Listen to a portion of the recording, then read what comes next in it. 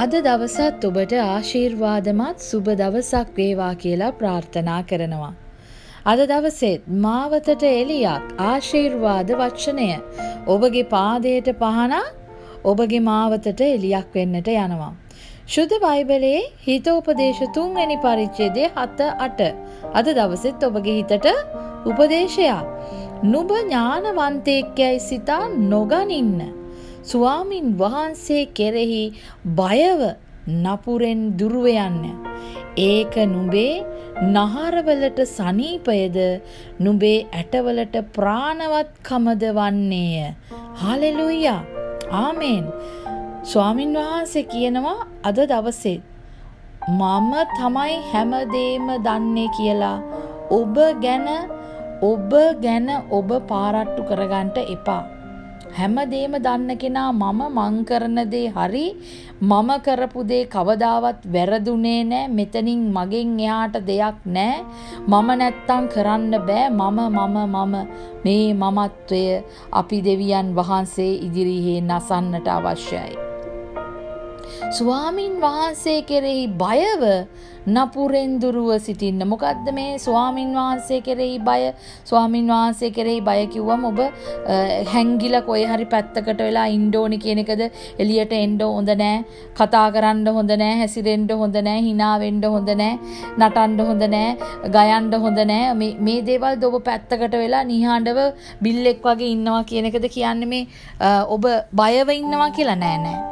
ඔබ ක්‍රියාශීලී පුද්ගලයෙක් වෙන්න අවශ්‍යයි.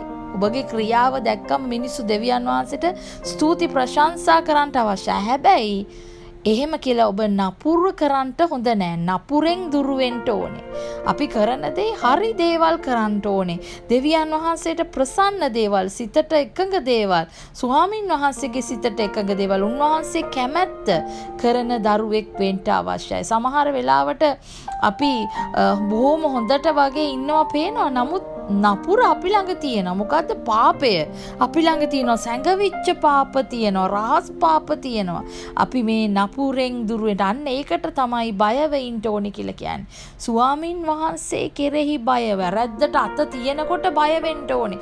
මේක පාපයක්, මේක නපුරු දෙයක්, මේක කරන්න හොඳ නැහැ. මේක මගේ ජීවිතේ ප්‍රශ්නයක් වෙන්න යනවා. දෙවියන් වහන්සේට මට මේකට ගණන් දෙන්න වෙනවා කියන සිත ඔබටයි මටයි ඇති වෙන්න ඕනේ.